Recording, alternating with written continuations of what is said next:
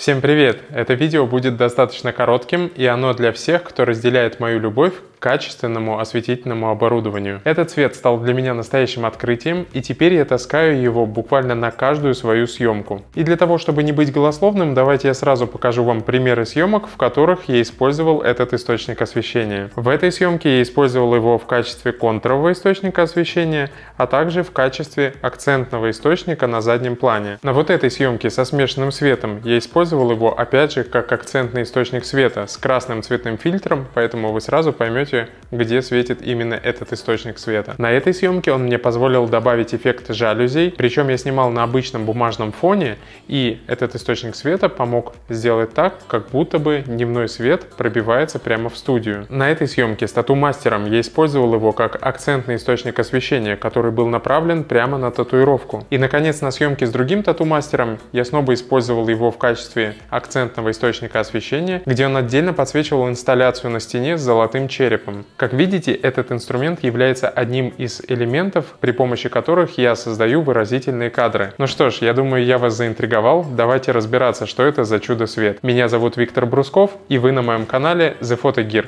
Устраивайтесь поудобнее, и мы начинаем.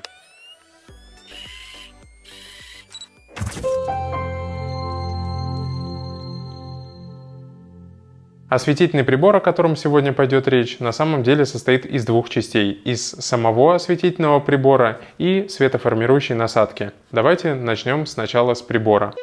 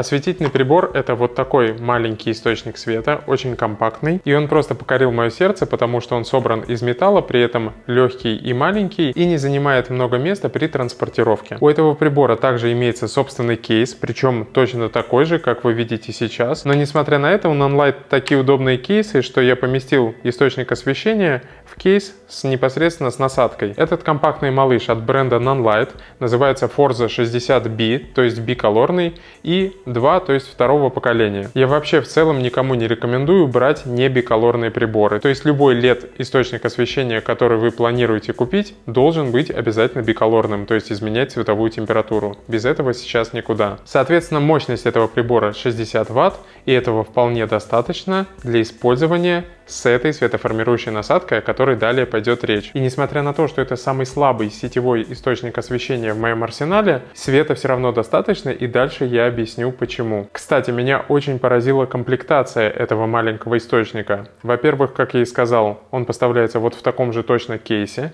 Во-вторых, у него есть сетевой адаптер. В-третьих, у него есть рефлектор, который по форме напоминает какую-то небольшую кружечку. То есть у этого рефлектора очень и очень компактная форма. Но помимо этого в комплекте есть также специальная рукоятка с возможностью установки в нее мощных аккумуляторов. И с этой рукояткой и аккумуляторами этот прибор можно использовать там, где нет возможности подключиться к сети то есть полностью мобильно. Но и это еще не все. Если вы обратили внимание, то у этого приборчика свой маленький байонет.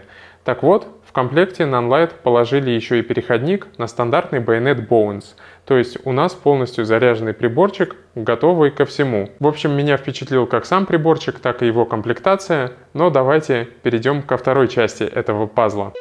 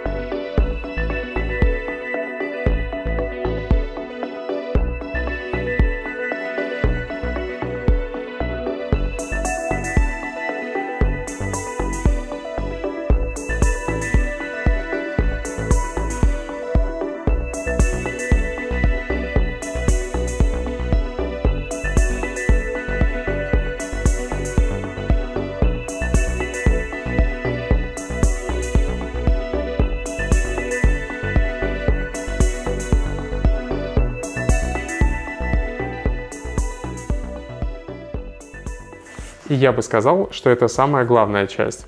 Вот эта штука называется проекционная насадка, и у нее внутри установлены линзы, а также 4 управляющих элемента. На самом деле я уже показывал такую насадку в предыдущем обзоре света Nonlight, но там эта насадка была под байонет Bowens. И вот загвоздка той насадки с байонетом Bowens заключается в том, что она весит вместе со своим кейсом 15 килограмм. Вы не ослышались?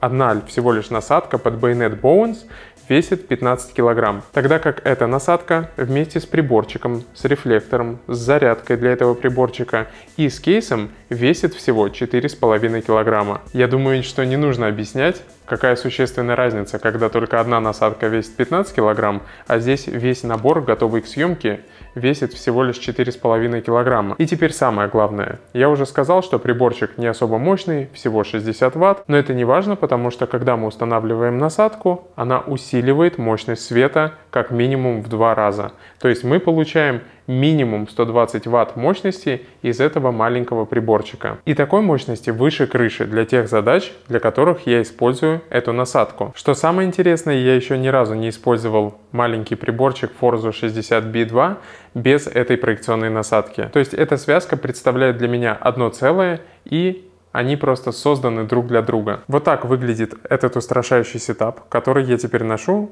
на каждую свою съемку. Если вы не видели мой предыдущий обзор, в котором я рассказываю про проекционную насадку с байонетом Bowens, то я прежде всего рекомендую вам посмотреть тот обзор. Но и, разумеется, в этом видео расскажу о том, что она дает. Прежде всего, в ней установлены оптические элементы, которые позволяют нам фокусировать световой пучок. Делается это за счет сдвигания передней части, а сама передняя часть полностью сменная. То есть здесь в моем случае 19-градусная насадка, и она создает довольно узкий пучок. Но также сюда есть возможность установить насадку с другим углом 36 градусов, и тогда световой пучок у нас будет шире. И такой более широкий световой пучок нужен в тех случаях, если вы стеснены в пространстве. То есть если у вас небольшое помещение, то берите проекцию инверсионную насадку именно с 36-градусным модификатором. То есть световой пучок будет шире, соответственно, вам будет проще создавать различные эффекты. Помимо того, что мы можем настраивать резкость нашего светового пучка, мы также можем им управлять, даже не используя никаких масок Габо, несмотря на то, что вместе с проекционной насадкой идет целых 4 различных маски Гобо. И поскольку сам осветительный прибор легко меняет цветовую температуру, я могу резко перевести ее в теплую и сымитировать просто закатное солнце на любой стене где только пожелаю. Особенно если добавить жалюзи, то сразу же этот эффект проявляется. Вот как, например, на съемке с тату-мастером. Я вывел на стену жалюзи, и все, как будто бы у меня проникает какой-то свет. На другой съемке мне нужно было создать контролируемую засветку на моем объективе Helios, и я светил этим осветительным прибором прямо в объектив. И это позволило мне добиться очень крутого креативного эффекта. Также возможность создать супер маленькую точку света тоже очень важна и помогает во многих случаях случаях, где нужно сделать всего лишь какой-то световой акцент. То есть, если резюмировать, то вот эта штука на самом деле незаменимый помощник. И это источник самого жесткого света, который может быть только в вашем арсенале.